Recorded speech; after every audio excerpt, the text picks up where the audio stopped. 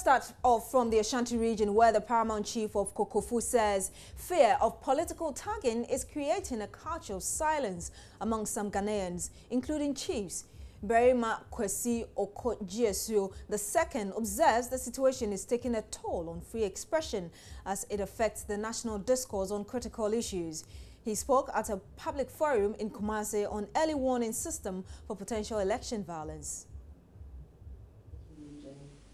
Representatives of media and civil society organizations are other groups to partner the Regional Security Council to ensure regional peace. Reverend Professor Asante discounted the widely held assertion justice is a condition for peace. He points out it is rather a peaceful environment that people can seek justice using democratic structures. According to Reverend Professor Asante, in Ghana's quest to maintain peace, it's important conflicts are well managed to prevent escalation. The, the bigger institutions, when they attend international conferences, they are talking about Ghana as a showcase. And a lot of them are saying it's not a showcase. So they are waiting for us to be in the same soup as all the others. And we should resist it. We should maintain our reputation as peaceful people. In saying this, I do not believe that we have to overlook the issue of justice. What is justice?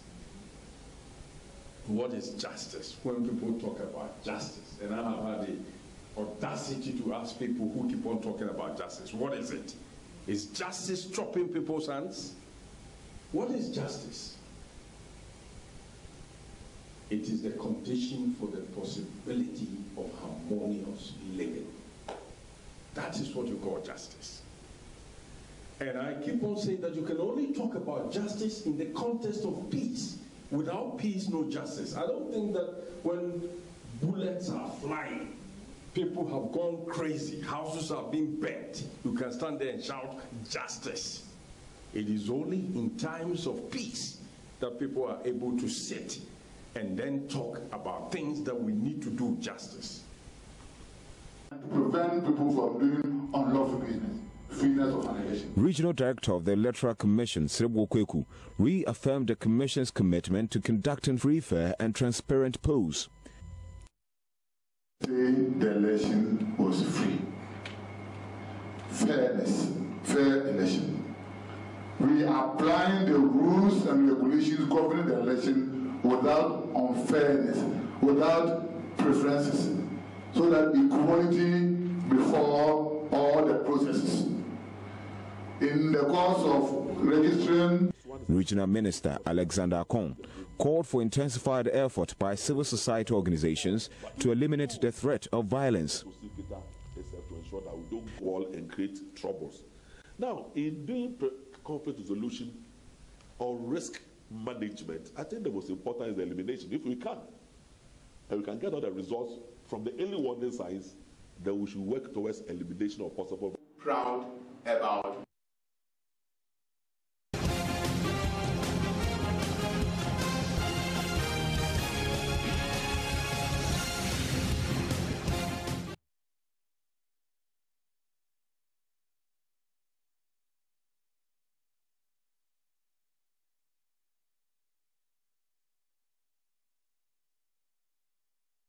Now, political scientists are divided on the state of political party campaigns. 40 days to the elections, while some describe a suspicious attempt by political parties to derail gains made in Ghana's democratic process with the late release of their manifestos, others believe the NPP's manifesto policies offer better alternative for economic prosperity if the party is able to achieve them. These were views from a roundtable conference on the 2016 elections in Accra. With 41 days to the general elections, political parties have intensified campaign activities across the country to woo Ghanaian voters with their policies. However, while they are at it, stakeholders are raising concerns over the conduct of these campaigns, with some describing the late release of the manifestos as an attempt to prevent any serious analysis of the content. Political science lecturer at the University of Ghana, Professor Ransford Gyampo, believes the late release of the manifestos amounts to acts that relapse Ghana's democratic advancement. I see if we have campaign addressing these issues, then um, manifestos addressing these issues, the manifestos should come on time so that we can all discuss. But um, beginning from the 2016 election, I see a surreptitious attempt to relapse Ghana's democratic advancement and the quest to promote issues-based um, politics or elections. Why do I say so? This is the first time that we are having um, the two leading political parties presenting their manifestos less than three months to election. And so why, how do we digest, how do we read, how do we understand, and how do we um, digest what they have said to be able to hold them accountable, you know, to them? And Professor Gyampo also lamented the absence of serious platforms for presidential aspirants to debate ideas. There is now also no serious platform to debate some of these manifestos. Now, um, somebody is running away from um, presidential debate. Another at, at, one point he said, "I won't do it." At another point he said, "I will do it." The other person is saying, "I don't know whether I'll do it or I won't do it." And it is not during party rallies that you can critically discuss manifesto provisions. It is during important and credible platforms like presidential debate that people will be subjected to strict proof of whatever they say that you can have um, a, a, healthy contest of ideas. Dr. Bossman Asare of the Political Science Department of the University of Ghana, on the other hand, thinks the NPP's policies heading into the elections are ambitious, but if they can be achieved, Ghana would get to the promised land of economic prosperity. A careful look at the political platforms of the two parties suggests that the NPP one is very, very ambitious. If they can do it, if they can do it, Ghana will get to the promised land of economic prosperity. I think one unique thing about the NPP platform is that it encourages the private sector, thereby limiting the state's role in the economy. Dr. Bossman Asare is also predicting Ghana is likely to have a divided government if the NPP wins the elections and the NDC wins majority of seats in parliament. I would say this is going to be an interesting election. Ghana will likely have a divided government for the first time if the NPP wins the presidency and the NDC wins majority of the seats in parliament. The reverse is also possible. The apparent absence of ticket splitting or what we call in Ghana skirt and blouse means that this scenario is unlikely. But 28 taught us that everything is possible in Ghana's election. The event was aimed at exploring key campaign issues of interest to Ghanaian voters, different political parties and their platforms, and the role of gender in the 2016 elections. Now, President John Mahama is later today expected to meet the Ɔkyehene Amoatia Foripɛni in his palace in Kyebi in the eastern region. It's day three of his tour of that region today, and as he scales up his campaign for a second term in this year's polls, he's also expected to commission the Cocoa Road in that town. And yesterday, he was in Fantiakwa and Etua to give the message of the NDC to the people there.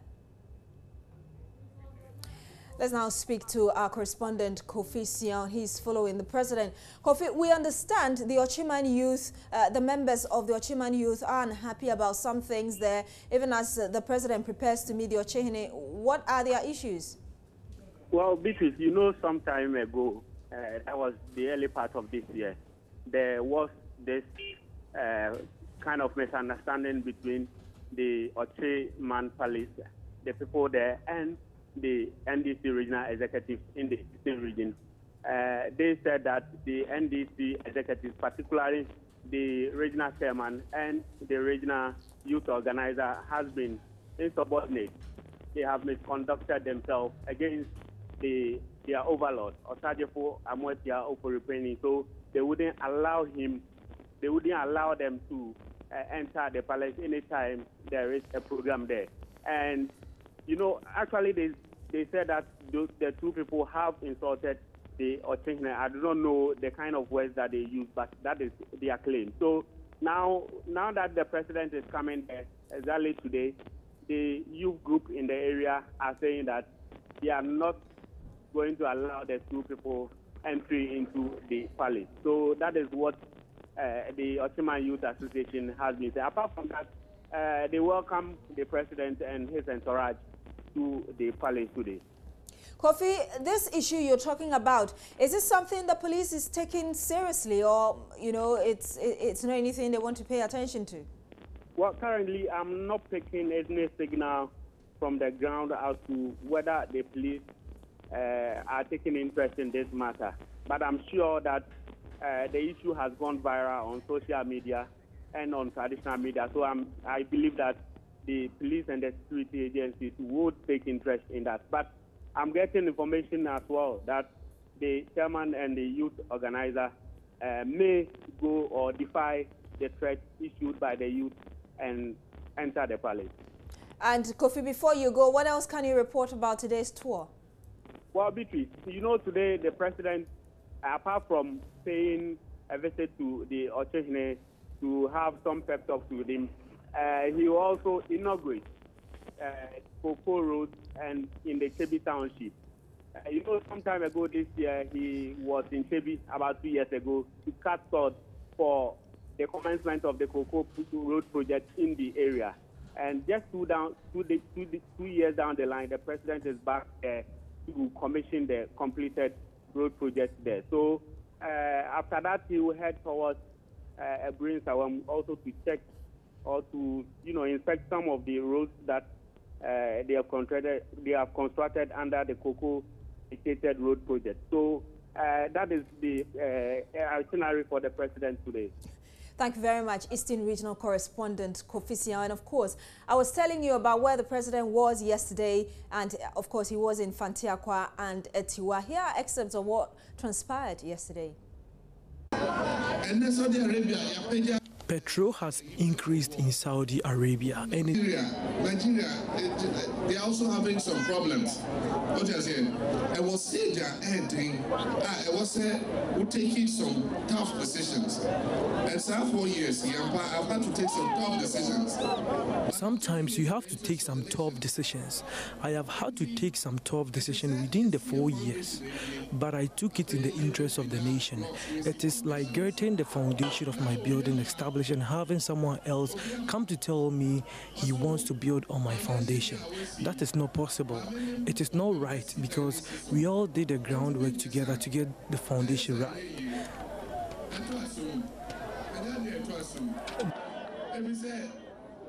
Yɛn nyinaa ɛna akabɔ mu asi foundation yi yɛtu fam yɛyɛ biribiara afei yɛato foundation yi yie sɛ wohwɛ international financial institutions no obiara. the international financial institutions have projected a period of prosperity for ghana from 2017 onwards.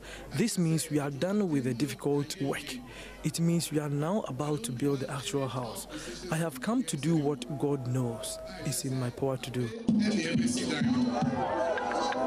ɔsɔfo aba. nyame ka ne sɛ nea nipa bɛtumi ayɛ nyame adom na mmea da mmorɔmante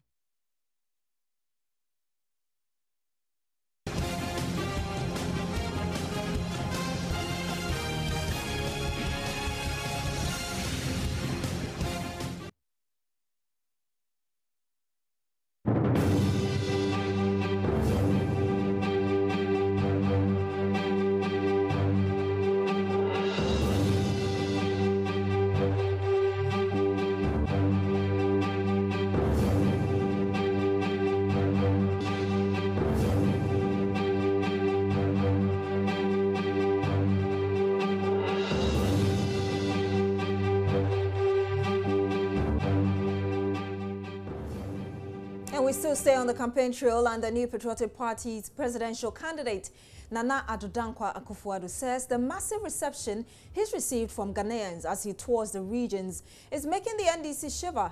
During a rally at Nkwanta as part of his tour of the Volta region, Nana Addo said he's confident of victory as the country heads to the polls in 40 days. He said the massive crowd shows Ghanaians are ready for change.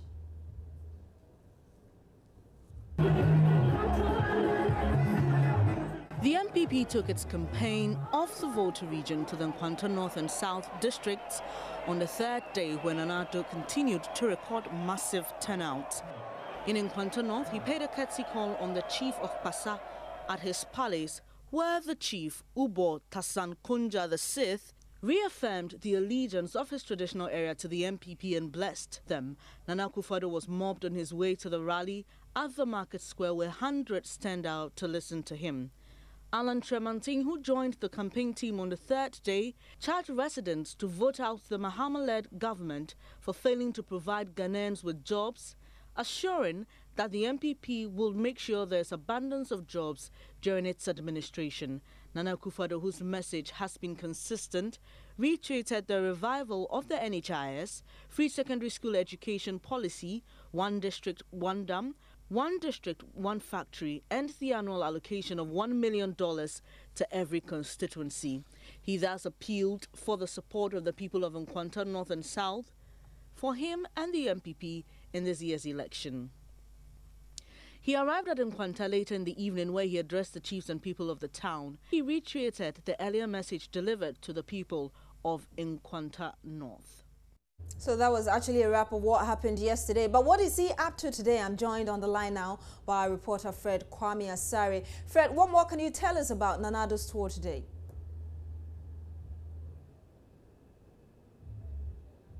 Hello, Fred. Can you hear me? Yeah, hello. Great. So I was asking, we just had a wrap of what happened yesterday. Tell us what Nanado is his tour. What is is, is going to happen today? Yesterday Ronaldo chief is nothing for all the water in the east uh, in contact with the south where the people uh, down in those constituencies. And Pasha Ronaldo addressed the rally at the market where he was not, and the president sent out to to listen to him. Uh, she said that he was joined by Alan Kyerematen on the third day of the campaign tour. So from uh, I headed down to then contact out to where again he recorded a massive turnout of residents coming out in their numbers uh, to listen to his message of change. Uh, speaking at uh, uh, the Volta region or the stronghold of the NDC is stumbling. Why did you say that? He said uh, since it started store uh, on Monday, going through south, uh, south and north there, Faja to south, Bando, Biakoye, constituency, and then catching East, catching West, and catching Chiruru. He has seen that uh, people came out in their numbers to listen to him. So really, uh, are in for change uh, for that matter, the whole country. Uh, today, Nana Addo will be heading uh, KJB Akan constituency and somewhere in the middle belt of the Volta region, where he's taking his message of change to uh, residents or electors in those constituencies. You also be uh, meeting with chiefs and elders in the uh, two constituencies as well. Thank you very much, Fred Kwame Asare. He's following the NPP presidential candidate, Nana Akufo-Addo, as he takes his tour to the Volta region. Now, the Ministry of Fisheries and Aquaculture has justified the distribution of tricycles, wire mesh, headpans, outboard motors, other and other fishing implements to coastal communities, claiming that the move is just part of government efforts to demonstrate its commitment towards the fisheries sector. Sherry in an exclusive interview with Joy News, explained that the government's vision is to ensure that the fishing industry grows to a point where the huge fish imports into the country will stop. She rejects claims that the move is aimed at buying the votes of the residents in the fishing communities this administration, under the leadership of uh, President Mahama, realized that no, we cannot allow the fishermen to do these things on their own. Government must also support them. As we are supporting cocoa farmers, we are supporting farmers, and we are supporting other sectors of the, you know, uh, food chain uh, development for food security. Okay, so this is just support, but the coincidence of time makes people assume that it would give the electorate some bit more of an appetite and, and, and a lot more reason to say, okay, now I have a tricycle. Why don't I just cast my vote in that direction?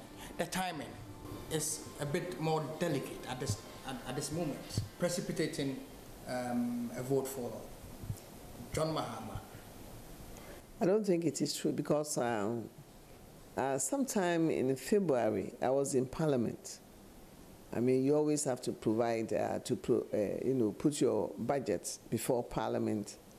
You want to tell Parliament what you want to do for the year 2016, and also in 2015. And in my parliamentary submission for my budget, you know, programs, was, you know, the supply of uh, outboard motors and other social programs for fishermen. And this was approved by Parliament. In fact, Parliament asked me, how am I going to achieve these targets? And I told them how I would do that.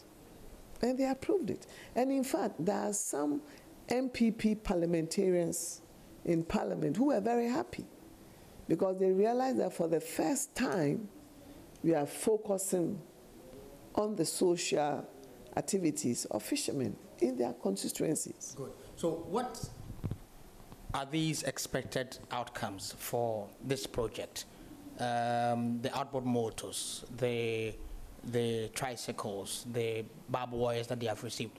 What need specifically are they expected to meet by within the fisheries sector with numbers? That's what I'm looking for. You know, we want to change lives. We continue changing their lives. We want to create jobs. We want to create wealth. Importantly, is wealth for the fisheries sector. So these outboard motors will definitely, the outboard motors that we are distributing, they have been designed in such a way that they are high powered and they can go very you know, far within our economic zone. And then they can also withstand storms on the ocean. So definitely you can stay much longer on the ocean. And then in addition to the outdoor motors, we are also giving them fish finders where you can, you can locate where the cluster of fish are. And then uh, you don't have to burn your fuel. You go there, you just put it in the sea. You know that this place, I don't have to fish. I have to go to another side, you know. So it is purely to improve their livelihood, to improve their standard of living. We want to change the whole coastal life. We want to give them a better life, education, health. We don't want them to live the way they are living. You know, because uh, with us, increase, you know, growth, increase uh, income, and it can change their lifestyle. But we, we still have a big deficit when it comes to um, our fish consumption and what we have. How does this contribute to bridging the gap between our needs and what we produce? Because Ghanaians eat a lot of fish. So that is why we are emphasizing on uh, fish farming, aquaculture. So it is Ministry of Fisheries and Aquaculture Development. And uh, we have about three training centers uh, where we train people who are interested in fish farming, tilapia, catfish. And uh, we have a lot, we, have, we have a program with FAO. We are training young people to go into aquaculture. And I can tell you that uh, when we took over, we were producing about 5,000 metric tons of fish through fish farming, and now we have reached almost 50,000 metric tons of fish. 50,000? Yeah, in fish farming, aquaculture, uh, you know, uh, catfish, and then uh, uh shrimps and uh, clams. So we, we, we are estimating that by the year 20,000, we'll be producing about 100,000 metric tons of fish. And you're still watching News Desk on Joy News on Multi TV, your election headquarters.